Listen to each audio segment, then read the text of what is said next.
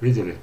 Вот на вишневой ветке, которую я под названием, э, я не написал там черешневая вишня, я написал вишня с генами черешни. Все по-честному.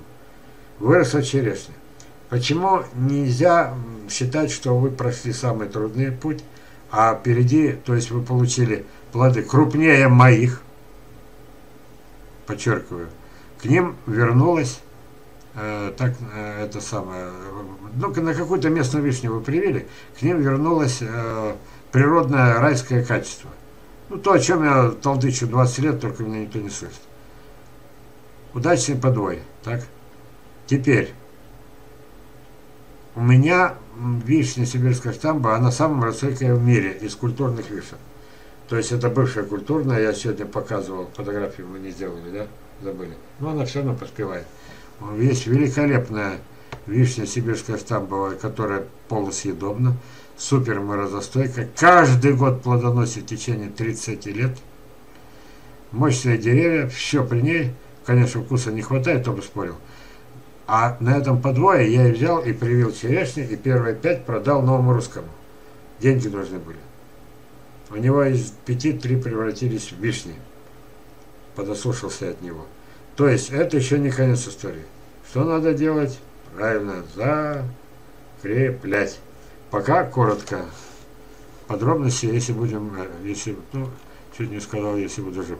Вот эта фотография, э, которую а, этот самый Чернобаев делал еще когда на даче был. Вот.